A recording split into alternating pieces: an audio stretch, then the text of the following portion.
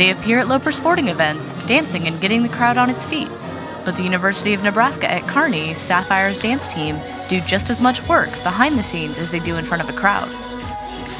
The Sapphires have two camps during the summer and are on campus a week before school starts to prepare for their first performance during Blue and Gold Welcome Week. I think it'll, it'll, hopefully it'll pay off. We're all so sore, but it's it's worth it. Everyone's pulling through as much as they can. Everyone, we all um, we all really really click really well.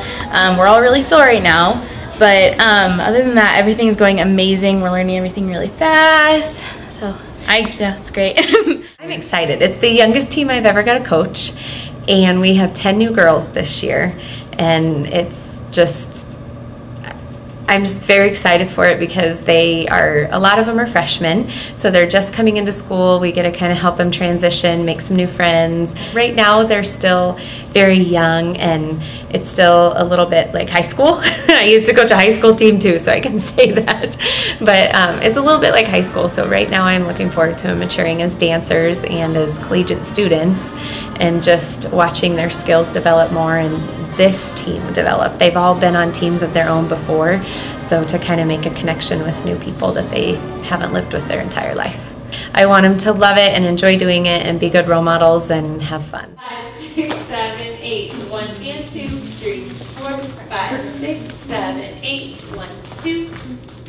Five, six, seven, eight. One, two, three, four, five, six, seven, eight. One, two, three, four. I think it's just like meeting new girls, and every year there's new people on the team, and just improving every year. I think I've seen a dramatic change with myself dancing, and of course with other girls too. So it's just fun. The girls do all of the choreography. I don't do it. I just correct them. So everything you see is from the dancers themselves.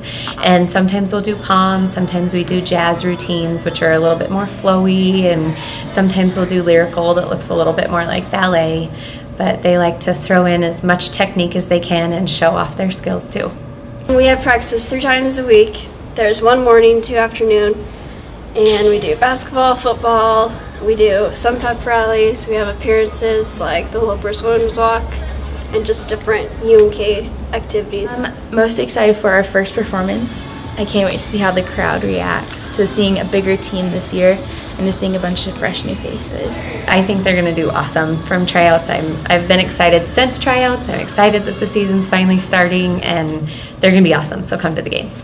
Our first performance is August 20th at, Lopers Under the Lights. So come watch. Go.